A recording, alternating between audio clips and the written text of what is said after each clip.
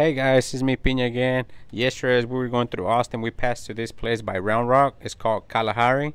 That place is the bomb. Uh, from one to ten, I'll rate that place a ten.